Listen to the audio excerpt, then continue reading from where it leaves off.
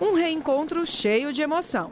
Javier não viu os primos e a irmã há nove meses. Eles ficaram em Pacaraima, Roraima, enquanto ele foi tentar uma chance em Goiânia.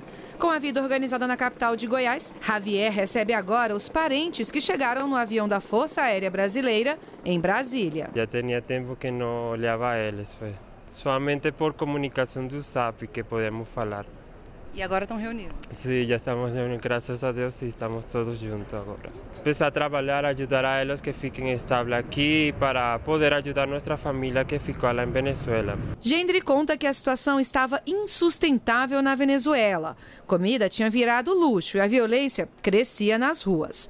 Foi pensando na filha de apenas dois anos que ela deixou o país rumo ao Brasil. Tuve que, por, por seguridad de mi hija, tuve que venir hasta Pacaraima para resguardar su vida porque allá no se conseguía en ese momento leche, ni, o sea, produtos de cesta básica não se conseguia. Esta é a sétima etapa do processo de interiorização de imigrantes venezuelanos. A partir de agora, a meta do governo federal é transferir pelo menos 400 pessoas por semana. Só nesta primeira semana de setembro, 408 venezuelanos encontraram um novo lar em diferentes cidades do país. Manaus, Cuiabá, Goiânia, São Paulo e Esteio, no Rio Grande do Sul, foram os destinos. Todos os imigrantes que aceitaram participar do processo de interiorização foram vacinados, fizeram exames de saúde e estão com a documentação em dia, inclusive com CPF e carteira de trabalho brasileira.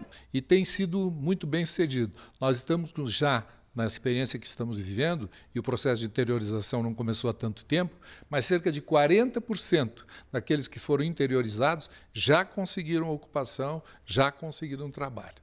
O trabalho de interiorização é feito em conjunto pelo governo federal com organismos internacionais.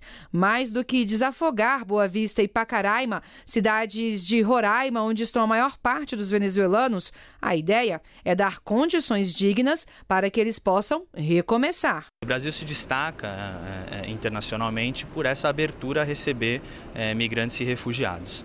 Uh, então, não só uma questão de respeito aos tratados internacionais que o Brasil é signatário, mas é também um respeito à legislação brasileira, ou seja, a própria Constituição e a nova lei de migrações que foi sancionada no ano passado estabelecem essa acolhida humanitária como também um dos princípios e possibilitam que as pessoas consigam se regularizar, consigam ter acesso a seus direitos exatamente da forma como os brasileiros têm é, e consigam se integrar melhor à sociedade brasileira.